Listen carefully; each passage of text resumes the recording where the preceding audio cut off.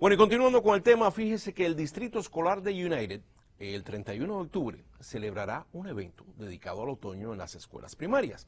Y permitirán, dije, permitirán que los menores se disfracen de diferentes personajes, pero tendrán algunas restricciones. Que por favor los disfraces sean de acuerdo a las actividades que cada escuela va a realizar, ¿verdad? Estamos pidiendo por toda la situación que está pasando, que no lleven los niños la carita pintada, que no vayan disfrazados de payasitos, que no lleven ningún disfraz que por alguna manera incite la violencia. Ya lo escucho. Ahora bien, los estudiantes que no cumplan con los requisitos establecidos, se les pedirá que cambien de ropa y les llamarán a los padres. En el distrito escolar de Laredo, ayer cancelaron el uso de todo tipo de disfraces el día de Halloween en sus escuelas primarias.